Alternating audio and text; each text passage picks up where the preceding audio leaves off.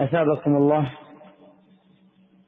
هذا سائل يقول ما هو الفرق بين تكفير السيئات وغفران الذنوب؟ تكفير السيئات وغفران الذنوب بمعنى واحد. السيئات والذنوب بمعنى واحد. السيئة هي الذنب والذنب هو السيئة. تكفير والغفران بمعنى واحد. التكفير في الأصل من الكفر وهو الستر. كفر الشيء ستره.